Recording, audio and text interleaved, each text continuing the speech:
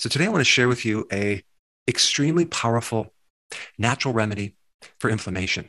Not just inflammation, but autoimmune diseases, gut inflammatory conditions, arthritis, skin conditions related to inflammation. This is something you probably have never heard before being connected to inflammation. And if you were lucky enough to consume this substance as an infant, you probably have already been experiencing the benefits of this. But for many, they've never had this substance. So uh, unfortunately, they probably are suffering from some t- form of inflammation. This substance has some really interesting benefits uh, for your gut, especially. We are actually all born with a very permeable intestines where there's actually holes uh, right into the immune system. So this substance actually seals those junctions to make them very, very tight. This substance actually can give you your immunity. Yes, it can give you immunity. There's two types of immunity. You have the one that your mother gave you, okay, and that's the one we're talking about.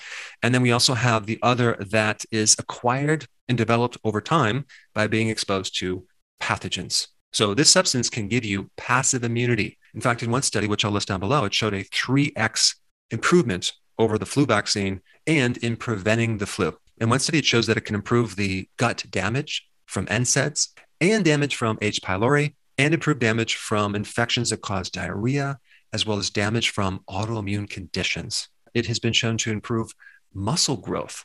So it's really good for people who have atrophy. And so all this is very, very amazing, but it also has the ability to repair your thymus gland. Okay. The thymus gland is an immune gland on top of the heart that is like a training camp for your T cells. And this substance is colostrum. Okay, what is colostrum?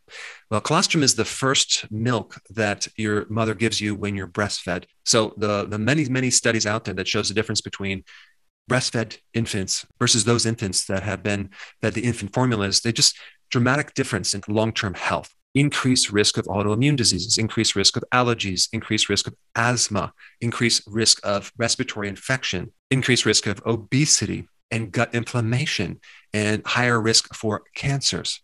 And so, as you can start to see, it's just really important that if you are a mother to breastfeed. Now, unfortunately, many of us have not been breastfed. Okay. So we did not get the benefit of that. However, you can get the benefit of taking colostrum, even if you're older. So I'm going to talk about that. But you should first understand what colostrum really is and what's in it. In fact, colostrum provides the only natural source of something called transform growth factor alpha and beta. Now, what is that? That is something that can greatly help regulate your immune system. And it's also good for tissue repair. Colostrum also provides the only natural source of insulin like growth factor one and two. Now, what is that? Well, that is that substance that I just referred to. It has been found to reverse the age related atrophy of your thymus gland because as you get older, the thymus gland shrinks. Okay. So anything that you can do to improve the thymus gland would be a really good thing. And there's other things too, like zinc and vitamin D, but colostrum also can help you.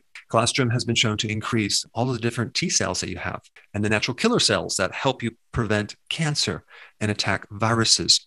Uh, they can increase the macrophages, which actually uh, provide a, a barrier for pathogens. Colostrum is like twice the fat as normal milk.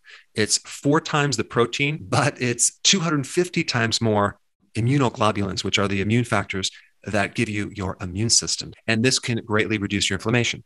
And initially, for an infant, one of the very interesting benefits of colostrum is in the development of your duodenal villi, those little tiny like roots on the inside of your intestine. So colostrum helps develop them. And so if you don't get the normal development of those villi, then you may have problems in the future with absorption of nutrients. And then you may develop something called malabsorption. But there's something even cooler about this colostrum because I started doing searches on the relationship between colostrum and the microbiome. This colostrum is extremely rich in the microbiome, the microbes, the friendly bacteria. So, really, what this first milk is doing, it's injecting uh, part of the mother's immune system, as well as seeding the infant's gut with this microbiome, which, by the way, is about roughly 70 to 80% of your immune system. So, it's giving you so many wonderful things. And this is why when we consume pasteurized milk. Basically, the heating kills all these enzymes, these immune proteins, all the microbiome. And there's been some interesting studies on even calves that are fed pasteurized milk versus raw milk. And there is a huge difference in their overall health. And I will put that link down below. You should probably read it. And of course, another reason why we have so many allergies to milk, right? Because our immune system looks at this as something that is very foreign. 100% of all cows in the US are given colostrum. I don't know why we don't give colostrum to our own human infants if they're not breastfeeding, but I think that would be a very important thing to do. So make sure that child is breastfed. Okay. You may want to try to find colostrum that comes from a goat, like goat's colostrum, that may work better than cow colostrum. Why? Because there is casein and other proteins that you may have an allergy to that could create a problem.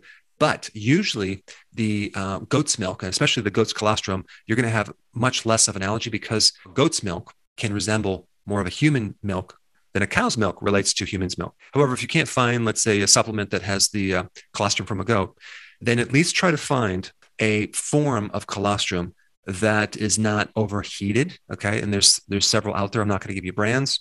And of course if you can't find those try to find something that they have removed the casein to reduce the chance of allergies now anytime you take anything related to the immune system uh, especially colostrum always start with a very small amount and test the waters because it could stir up some immune reaction initially so you take small amounts you take a half a tablet right before bed you see how you react, and then slowly have more and more until you're achieving the dose that's listed on the bottle.